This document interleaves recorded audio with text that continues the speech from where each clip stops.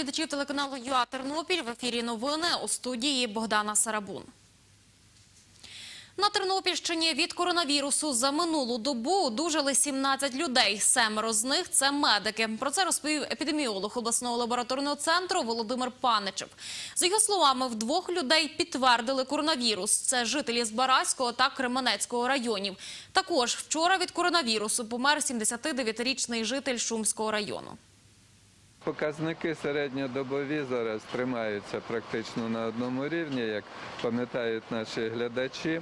Вони коливаються в межах плюс-мінус одиничка. Е, Тобто за попередню добу було три лабораторно підтверджених, зараз два лабораторно підтверджених. Кількість підозр була 27, зараз 26.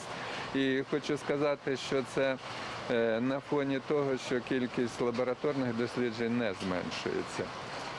І- е, вже е, завчора ми е, провели е, е, 380 досліджень, і станом е, от на цю годину нам вже доставили близько 500 матеріалів, які будуть опрацьовані е, протягом е, цієї доби.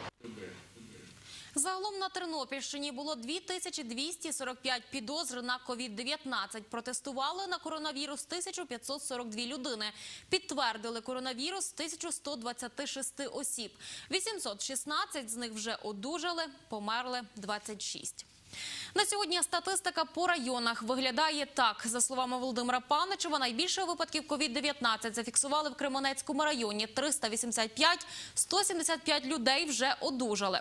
У Монастириському 194 випадки, Шумському 136, у місті Тернополі 100, Бучицькому 67, Чортківському 53, Заліщицькому 45, Козівському 25, Збаразькому 24, Лановецькому та Тернопільському по 19, Гусятинському 15, Теребовлянському та Борщівському по 14 випадків, Підаєцькому та Підволочиському по 5 і в Бережанському та Зборівському районах по 3 випадки.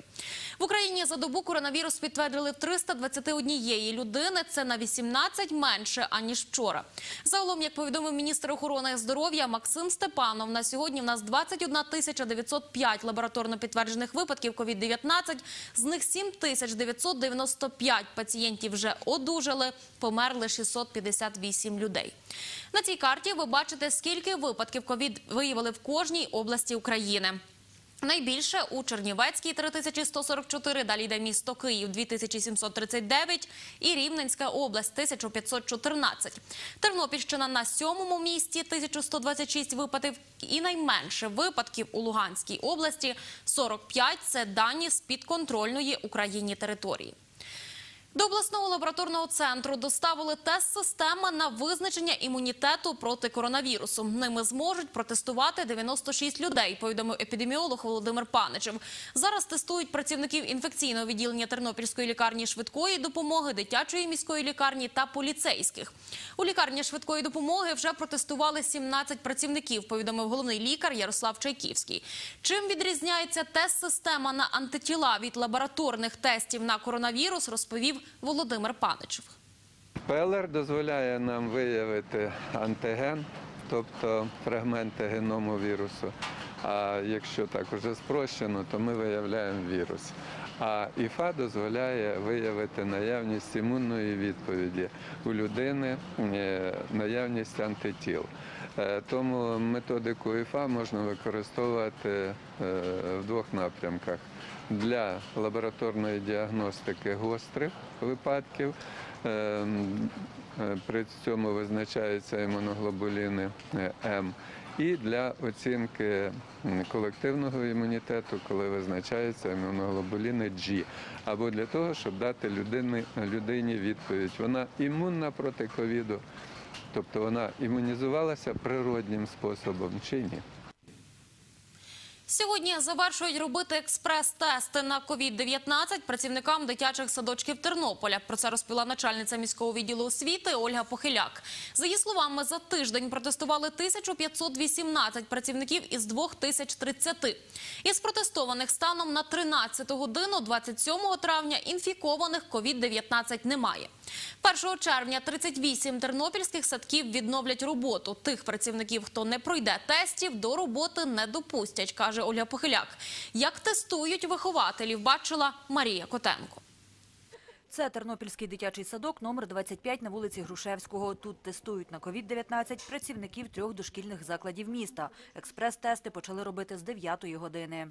Леся Холод, музична керівниця у дитячому садку номер 5. Жінка чекає своєї черги, з собою принесла бахіли і зберігає дистанцію у півтора метри. Вона розповідає, як дізналась про експрес-тестування. Е, Між працівниками садочка створена вайбер-група, через яку завідуюча з нами спілкується, доносить до нас всякі новини, які ми дізнаємося. І вона нас повідомила, що десь в 25-му садочку на 10-ту годину відбудеться тестування всіх працівників 5-го садочка. Хто з якоїсь причини не зможе з'явитися, то 28-го зможе ще пройти. Експрес-тестування проводять дві старші медсестри Центру первинної медико-санітарної допомоги. До 20 хвилин ми чекаємо результат.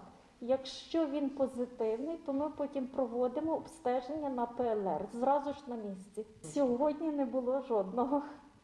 Сьогодні всі від'єднані. Григорій Радчук працює сторожем у 25-му садку. Експрес-тест показав негативний результат. Звичайно, що хвилювався. Це така невідома хвороба.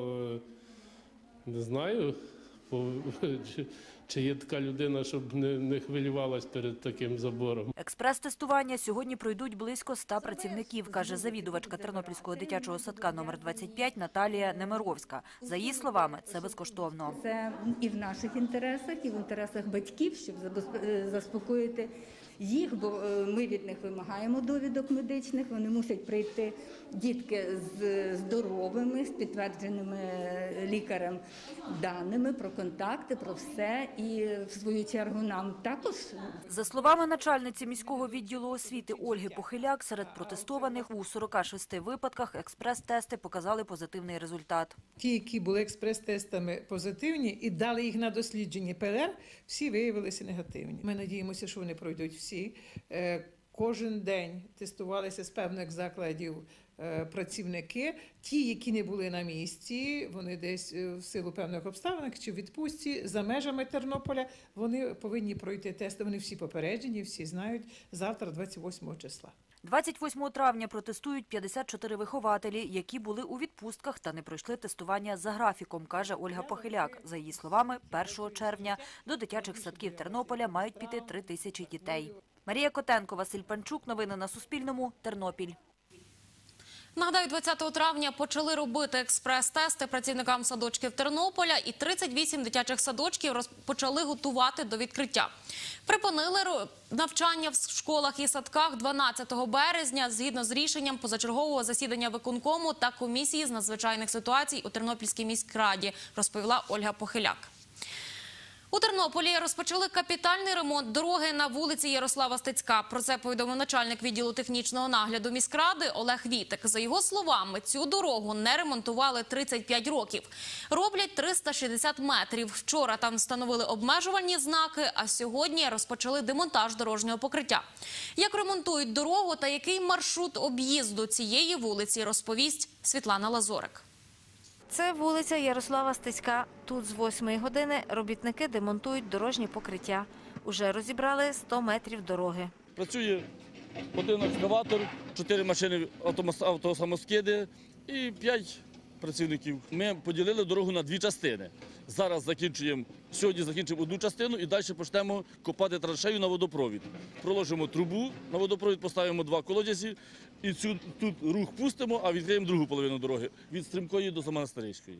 Перекрили ділянку дороги від шпитальної до стрімкої, каже майстер ремонтної бригади Анатолій Вітик. Автомобілі її можуть об'їхати сусідніми вулицями. об'їжджають по стрімкій вулиці, зараз до Замонастирської, а потім, як тут зробимо, пустимо рух сюдою, а перекриємо там від стрімкої до Замонастирської. Світлана Лазорик, Оксана Галіяш. Новини на Суспільному. Тернопіль. Триватимуть ремонтні роботи до 1 серпня, каже Олег Вітик. Це вся інформація на цю годину. Наступний випуск новин дивіться вже о 17-й.